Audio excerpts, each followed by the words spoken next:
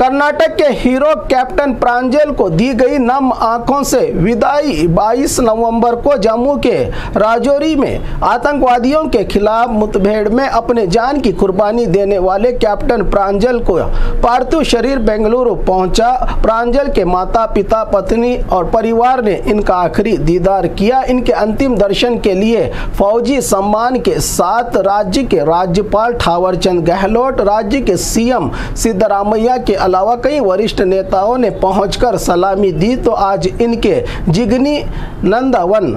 Colony में रहे घर से सरकारी गौरव के साथ देश के सच्चे सपूत को नम आँखों से आखिरी सफ़र के लिए रवाना किया हज़ारों चाहने वालों ने शहीद कैप्टन प्रांजल को।